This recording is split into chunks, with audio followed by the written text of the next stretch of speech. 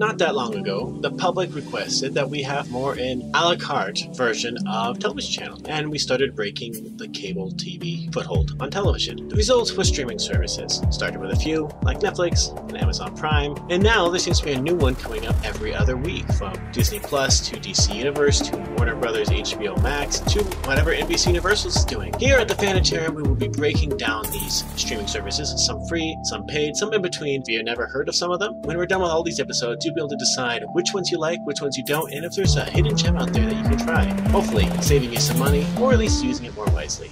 Welcome to the Fanitarium. Since around the time of Super Bowl weekend, you've probably seen some odd commercials for something called Peacock. One of them even had a peacock playing the piano. What is Peacock? Well, Peacock is an upcoming American over the top uh, subscription video on demand service by NBC Universal, which is part of Comcast. Much like how HBO Max is Warner Brothers streaming service, Disney Plus is Disney's, and CBS All Access is the one for CBS Viacom, or at least one of them. Uh, this is the one that NBC Universal slash Comcast wants to do. It is named after the logo of NBC, which of course is the peacock. The service is set to launch July 15th, 2020, with early availability coming up really soon for Xfinity customers starting on April 15th, 2020. So, what can we say about this? Well, it was announced officially January 14th, 2019, that they're going to announce that they're going to have this. But one of the things that's going to be different with this one is so it's going to have two programming tiers. So, Peacock is going to behave much like how Hulu used to be. Do you remember when Hulu was free? So, both of which are going to be supported by advertising, limited to five minutes per hour, so it's still better than TV.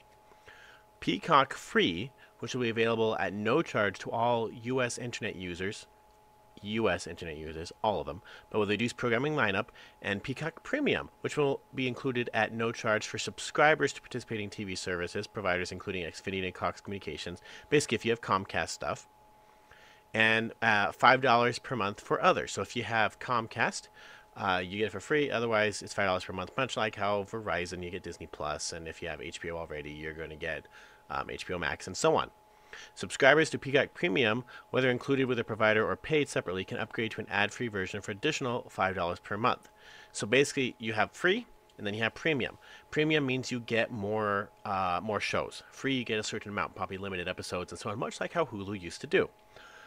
They both have ads, but if you want to pay an extra $5 a month, so $10 a month, you have no ads. Now, what are some of the stuff that they're doing for Peacock? Well, they have a lot actually. So, we have original programming. Here are just some of the ones announced. Uh, we have Adventure Zone, we have AP Bio, we have Battlestar Galactica, a reboot which is going to happen. We have Brave New World, which is coming from USA. We have Cleopatra in Space by DreamWorks Animation. We have Curious George. We have Doctor Death. We have um, Hatching Twitter, which is a drama. We have MacGruber, which is coming there. We have Madagascar, A Little Wild, which is co-production with Hulu from DreamWorks Animation. We have a Straight Talk. We have Trollstopia with DreamWorks, The Mighty Ones with DreamWorks, and uh, a Real Housewives spinoff, a racing series from Dale Earnhardt Jr. is coming there. Punky Brewster reboots coming there. Saved by the Bell reboots going there. Where's Waldo? Who wrote that? We also have uh, the next Psych film is coming there called Lassie Come Home.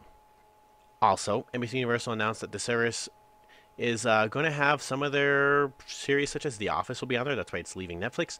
Parks and Recreation is going to be on there. And they also said they're going to be bringing Lionsgate stuff there as well. Part of a long term carriage deal with Lionsgate subsidiary Starz. So, um, it's going to be popping up there as well. They're of course also going to have NBC Sports, Premier League Soccer, Ryder Cup, the Olympics will be on there, and so on. The website for Peacock is already up. Remember, and when you think of NBC, they make a lot of stuff. There's Universal Kids, which um, it, I forget what it used to be called, but it, Sprout it used to be called. We have Saturday Night Live. We have lots of sports that they do, and and so on. But the website's up there right now. We know all of Law and Order is going on there, which you know 20 plus seasons for SVU, 20 seasons for regular, 10 or whatever for criminal intent. You know that's gonna be on there, but you can follow them for their information. But basically, if it's an NBC Universal show or movie, it'll be on there, as well as original stuff. And the advantage of this one is it'll be free. What do you think? Is it worth it? Sound off. Give us your thoughts. That's Peacock, at least what we have right now.